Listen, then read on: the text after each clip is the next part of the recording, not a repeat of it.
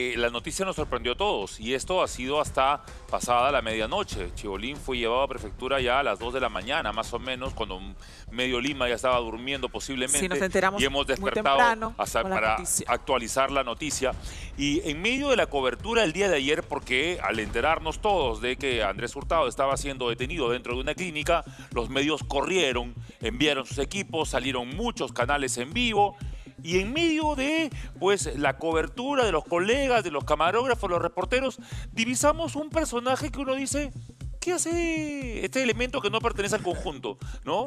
Em, encontramos ahí, yo también em, estaba mirando las imágenes, wow, ¿qué hace Philip Butters en medio de los periodistas? Philip Butters, que yo sepa, no es reportero, es presentador de televisión, sí, en el mismo canal donde trabaja, perdón, en el mismo canal donde pues eh, Beto Ortiz le he eh, abierto a varias investigaciones y le he dedicado reportajes ¿no? a fondo al caso Chibolín, está ahí Philip Butters yendo a ver qué estaba pasando.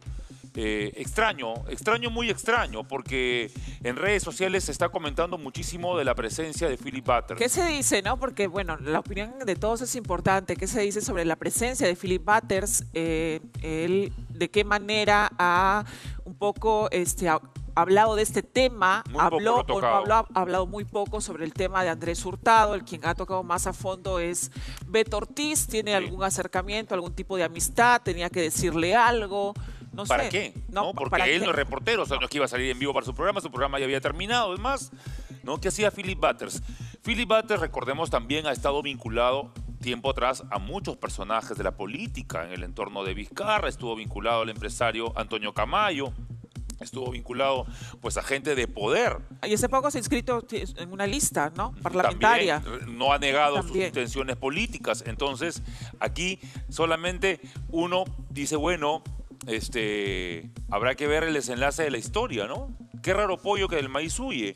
Pero vamos a ver entonces qué va a pasar en las próximas horas con este personaje. Tenemos ¿Qué va a pasar? Pero, pero ¿qué pasó para que se haga conocido, no? Toda la trayectoria artística de Andrés Hurtado, porque así empezó, ¿no? De repente bailando en los escenarios, vestido de mujer, para luego, pues, con esa gracia y ese talento y ese humor que lo caracteriza, vieron en él, pues, que podía ingresar a la televisión, ¿no? Que él tenía esas ganas de entrar a la televisión y empezó también a transformarse y más allá a imitar a diferentes personajes de los medios, así personajes públicos que se hizo conocido, ¿no?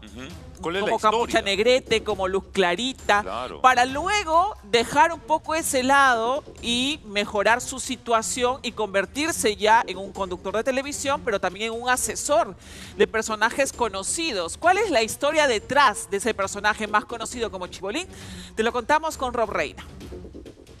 participando en la detención. Usted, como investigador,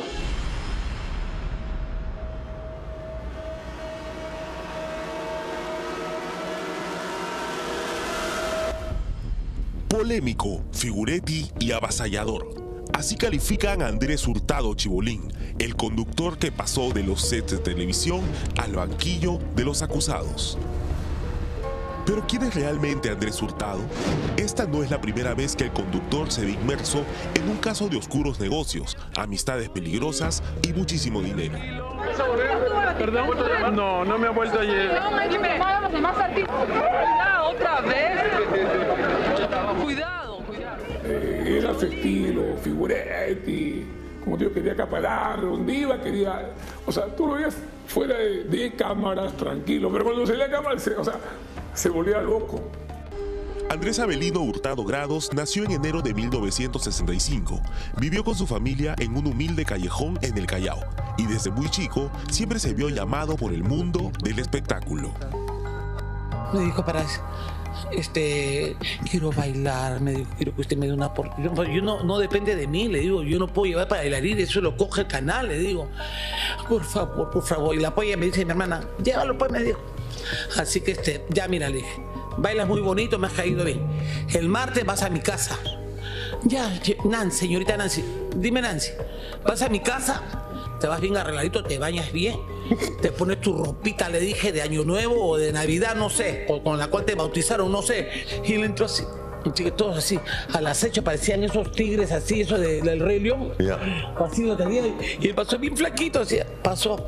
Y yo lo veo al Ven, le dije. Ven, ven, ven. Sí, mira, le dije, te voy a pedir un favor. Yo te he traído acá a ver si hay la oportunidad que puedas trabajar. Pero no me hagas esas cosas.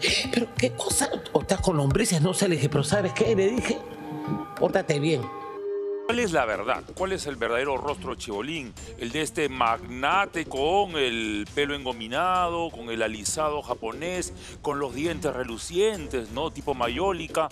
¿O es, o es el del payasito que vivió en esta quinta y eh, pues quizás no tiene ni un mango en el bolsillo, pero se da la apariencia de la gran vida. vida? Él, ha dicho que su presupuesto diario bordea los 30 mil dólares. ¿Eso es cierto? ¿30 mil dólares como presupuesto diario de vida? ¿O es básicamente puro floro Eso ¿no? que- bueno, desde, para echarse la parte, para llenarse la boca? no sé, desde ya que no hay, no haya un domicilio, no que él tenga fijo, porque, porque si bien es cierto, dicen que vivía primero en, en un domicilio, luego se cambiaba y vivía en un hotel, entonces no hay un domicilio fijo. Sin embargo, vemos la vida que, ¿no? Él siempre bien vestido, ¿no? Buenos viajes, siempre de, de lujo, mostrando todo lo que tiene y todo lo que se compra. Entonces, bueno, ahí de repente dirás, ¿dónde lo compra? ¿Qué hace? dónde ¿De dónde tiene? to- todo eso. Bueno, de mi opinión, de lo que yo de lo que conozco de Andrés Hurtado, porque bueno, en la televisión en América. en la televisión todos nos conocemos sí. y cual las veces que he estado con él en algún evento, en algún tema de la televisión, eh, siempre se ha mostrado muy amable, muy atento, divertido, sí.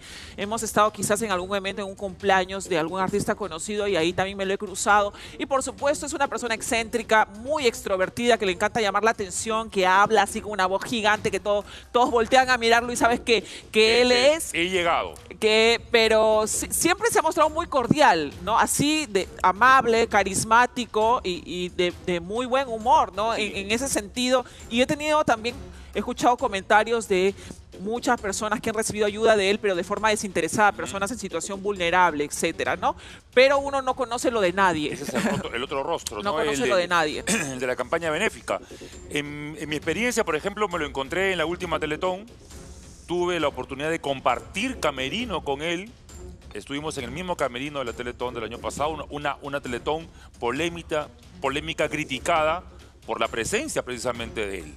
¿no? Así. Nadie lo esperaba. Yo no estuve, yo no estuve en esa Teletón. Tú estuviste. Yo estuve ahí enviado por la. Exactamente. Y en esa Teletón... ¿Qué pasó ahí entonces? ¿Qué ocurrió ahí? Bueno, estuvimos en el camerino que lo compartimos ese, esa- ese día y en medio de la, de, la, de la charla yo le pregunté, ¿por qué no escribía un libro? Le digo, ¿por qué no escribes un libro? ¿No? Y me dijo, porque si yo escribo el libro, se van presos varios. Así te dijo, así, te dijo, respondió. así me respondió. Bien. Si yo escribo un libro y lo cuento todo, se van presos varios. Y luego me dijo que este, había muchas leyendas urbanas alrededor de él. Yo le pregunté a boca de jarro por el caso Vaticano. Le Ya. pregunté que cómo tenía esa extraña habilidad para meterse siempre en problemas, para estar siempre en el ojo de la tormenta. ¿Cuán ciertas eran las denuncias o los rumores de el delito de proxenetismo? Se lo pregunté. También y me dijo que eso era una mentira. Sin embargo, hoy en la nota de Rob Reina acabamos de recordar pasajes que ya para mucha gente seguro estaban velados, que no lo recordaban. El episodio del posavasos, Claro. el episodio de la suite de Barranco. Y ayer la ex vedette Mariela Zanetti dijo lo siguiente, no, no, no vamos a ser hipócritas, creo que todos ya lo sabían Ajá. sobre este tema. Bueno, como, como que Y- era un secreto a voces, que se voces y que sabía nadie- y que nadie lo comentaba porque, Porque no claro, pruebas. porque exactamente, no vas a hablar sin tener pruebas porque Mm. te metes también en un lío tremendo si es que no las tienes. Pero ¿qué más te contestó? Porque dijiste, le, le preguntaste cómo tenía la facil- facilidad de meterse siempre en problemas. ¿Te Claro. dijo algo sobre eso aparte? él, él me dijo que él tenía muchas relaciones de amigos, de políticos, que era un hombre que siempre era sociable.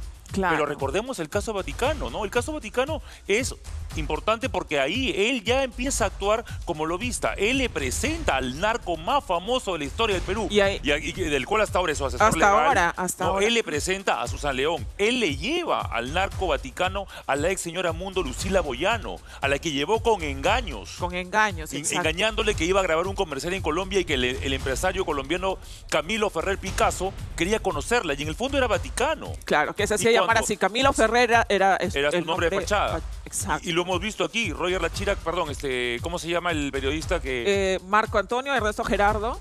Eh, sí, Marco Antonio dice este, que llevó a Analí, quiso llevar a Analí Cabrera, también, con También con engaños, y engaños. Analí terminó dándole una bofetada. Ahora él, él dice en todas las entrevistas que se le ha hecho, ahora último, aún más que todos quieren preguntarle algo, siempre responde que no recuerda y que tiene muchas amistades, ¿no? Tiene su círculo es muy grande, ¿no? Sí. Que él eh, tiene amigos por todos lados.